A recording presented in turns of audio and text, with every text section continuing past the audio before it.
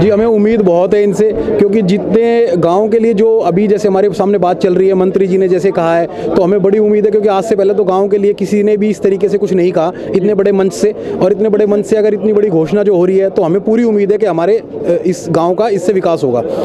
और हमने गाँव की समस्याएँ अपने क्षेत्र के विधायक जी के सामने रखी भी हैं और हमें उम्मीद है कि जल्द से जल्द उनके ऊपर कुछ ना कुछ वो अच्छा काम करेंगे।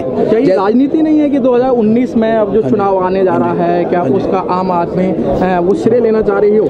जी ऐसा है मेरा मानना ये है अगर राजनीति के तहत भी गाँव का भला होता है तो वो भला ज़्यादा अच्छा है। क्या करते हैं आप? आपका नाम? मेरा नाम सिद्धार्थ शर्मा है। जी। गाँव जो वाला एडी पश्चिम बिहार से। तो हम ये चाह रहे थे भाई हमारे गाँव का जो है उद्धार हो और काफ़ी समस्याएँ ऐसी हैं जो कि वहाँ के पार्षद और एमएलए नहीं कर रहे हैं। तो इसी को काम कराने के लिए हम सारे भाई अपने मिल के यहाँ आए हैं और अपनी अपनी बातें यहाँ रख सकें क्या आपके मतलब विधानसभा में ऐसा कौन सा काम ज़रूरी है जो होना चाहिए जल्दी? अभी हमारे गाँव में एक पंचायत घर है जो कि डी के अंडर आता है। दिल्ली सरकार दिल्ली सरकार के अंडर आता है। हम चाहते हैं कि वो गाँव के लोगों के यूज़ यूज़ के काम आए। अभी वो किसी काम नहीं आ रहा वहाँ लोग कूड़ा डाल लेते हैं लोगों की गाड़ियाँ पार्किंग हो रही हैं। तो हम ये चाह रहे हैं कि उसको तरीके से बनाया जाए ताकि वो लोगों के काम आ सके। नहीं अभी मंत्री जी ने बोला है कि अपने गाँव की पंचायत बुलाकर और एक मीटिंग बुलाएँ और मीटिंग के अंदर अपना प्रस्ताव रखें। जी। अभी मंत्री जी ने बोला कि एक गाँव की मीटिंग बनाए मीटिंग बनाने के बाद में मंत्री जी को प्रस्ताव भेजें या विधायक के द्वारा वो प्रस्ताव वो ऑलरेडी हम अपने विधायक जी को भेज चुके हैं सत्येंद्र जैन जी को। आइए और जानकारी लेते आपका नाम?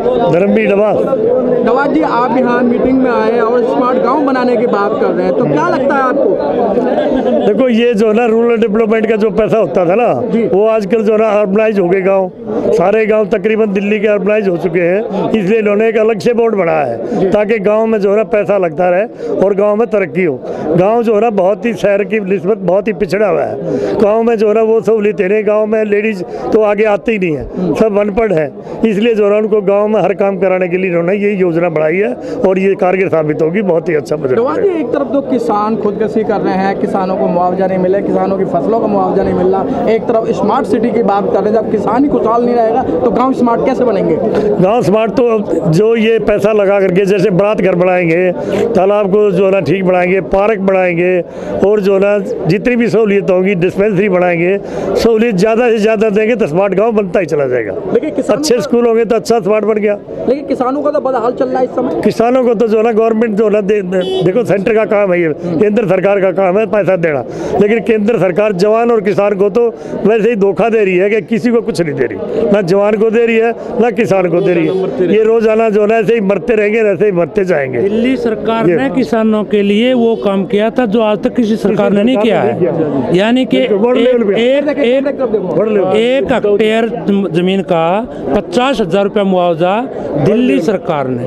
फ़र्स्ट टाइम पर यानी कि पूरा इतिहास के साथ में पहला रिकॉर्ड था। माननीय मुख्यमंत्री अरविंद जी ने जो पचास हज़ार रुपये पर हेक्टेयर का मुआवजा दिल्ली को गाँव में दिया है। का कैप्टन रामफल साहू है जी। और मुंडका विधानसभा का अध्यक्ष हूँ। हिंदुस्तान की एक्स रीजमेंट का वाइस चेयरमैन हूँ। और आम आदमी पार्टी का वॉल्टियर कहें कार्यकर्ता कहें या प्रदेश में दो चार जिम्मेवारियाँ भी हैं, लेकिन मैं ज़्यादा कुछ बात नहीं कहूँगा। धन्यवाद सर, धन्यवाद।